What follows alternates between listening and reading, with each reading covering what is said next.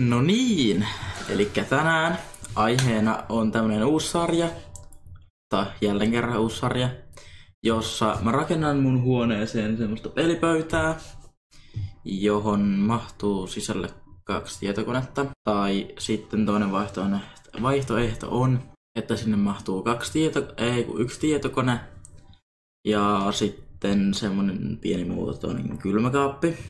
Ja tota, niin tässä olisi nyt suunnitelmat. Näin.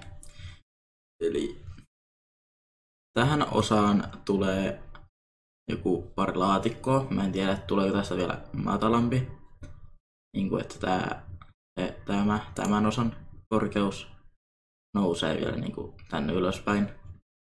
Joten tämän laatikon niin kuin, tila pienenee. Ja tähän tulee sitten kans laatikoita.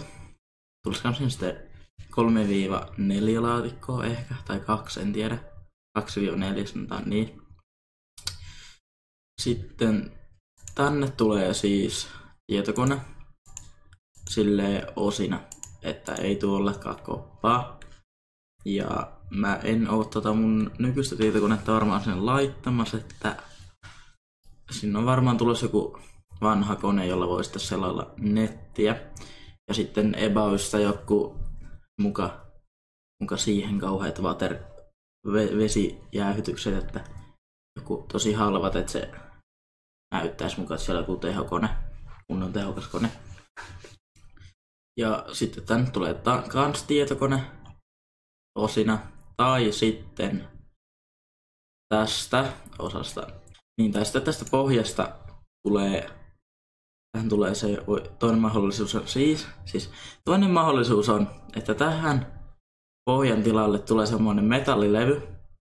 Sen metallilevyn alle semmoinen semmoisia te- te- teknologiaosia, teknisiä osia, jolloin tästä saattaa myös lähteä pieni pala pois ehkä, jotka ne osat sitten niinku viilentäisi tätä osaa, ja tähän kun laittaa toillakin, niin sitten se niinku viilentyisi siitä niin. Eli semmoista olisi sitten voisi tulla tonne. Ja tätä pöydän kantta mä oon nyt siis aloittanut tekemään koulussa. Pöydän kannan koulussa ja tota niin, se tulee koivupuusta, eli siitä tulee semmonen vaalea. Ja sitten tota niin, siihen sitten tehdään tämmönen, tämmönen tammenruskea pintakäsittely todennäköisesti. Sitten mä oon ajatellut, että nämä osat sitten tulisi levystä, joka maalattaisi mustaksi. Eli saanko mä täältä maalia?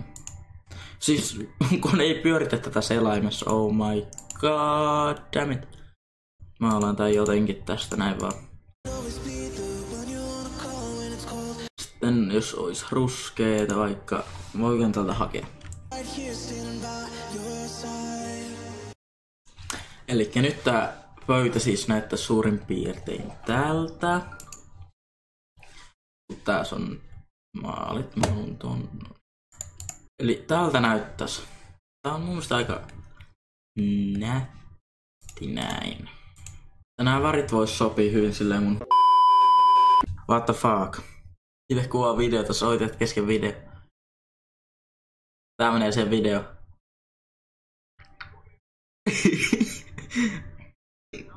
Moro.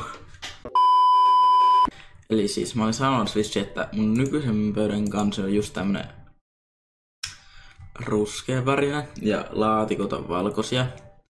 Että mä en sitten tiedä, että pitäisikö näistäkin laatikosta vääntää valkoisia. Mä en oikein tiedä.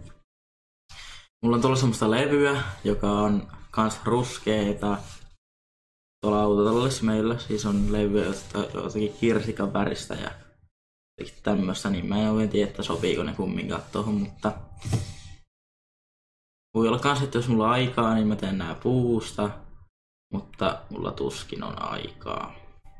Mutta tässä on nämä suunnitelmat. Tuota pitää vissi vähän maalailla vielä, mutta tota niin. Näin, tästä tulee rakennusvideo öö, muutamassa osassa. Yhdessä osassa tulee semmonen, luultavasti tulee semmonen pieni video. Tai en tiedä, onko siinä vain kuvia, koska mä teen sitä koulussa. niin mitä mä tuon kannen tein, sitten tulee mitä mä teen nämä laatikko-osat. Sitten tulee, kun tää pöytä pistetään kasaan ja tää tulee mun huoneeseen niin kuin ihan kokonaan kasaan silleen. Ja sitten vielä yksi osa, kun tän pistään tekniikka sisälle. Ja niin. Tän tulee yksi osa, jossa laitetaan tekniikka sisälle. Ja sitten tulee vielä joku osa, jossa tilataan sinne, tai mä tilaan todennäköisesti sinne jotakin RGB-juttuja tämmöistä. Ja sitten piti sanoa vielä se,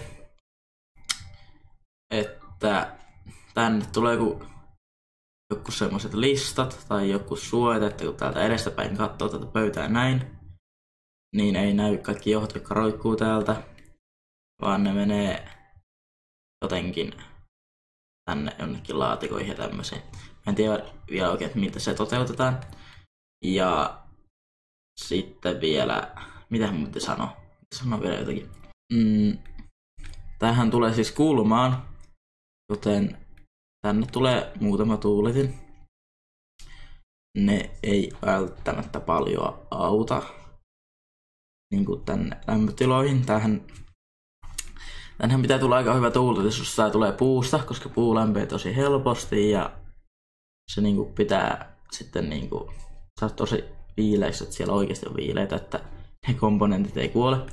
Eli tänne tulee pari tuuletinta ja sitten tulee varmaan tuon pöydän alle tai sitten tänne sivulle tai niin, niin tänne pöydän alle sivulle toiselle sivulle. Onnistuu tää puhuminen melkein. Niin, sinne tulee pari RGB-tuulettimet sitten, että tietenkään tänne jääkaappi ei tule, mutta tai kylmähuoneeseen, jos sinne semmoista edes tulee, mä en tiedä. Kun sitten tota niin, tänne tulee joku nettisalauskone, pöydälle menee mun niin kuin pääkone, jos vain johot yltää. Jos ei yllä, niin se jää jonnekin tänne pöydälle, se mahtuu. Ja sitten tänne tulee, jos tulee joku kone, niin sinne tulee striimikone, jos mä semmoisen joskus saan, kun mä saan vähän YouTube-massia ensiksi. Tää video olisi nyt tässä, että